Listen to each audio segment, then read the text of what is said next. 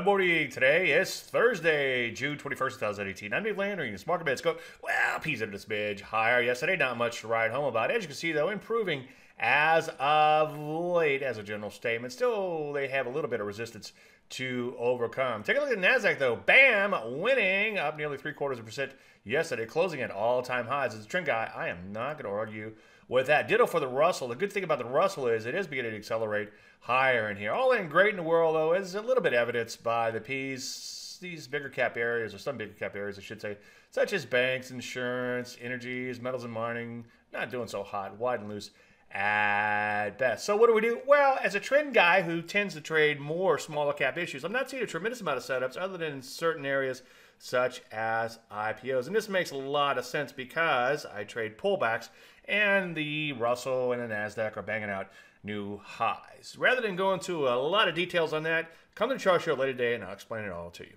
Any questions? As usual, Dave at. I'm Dave Landry and you started Mark Bennett.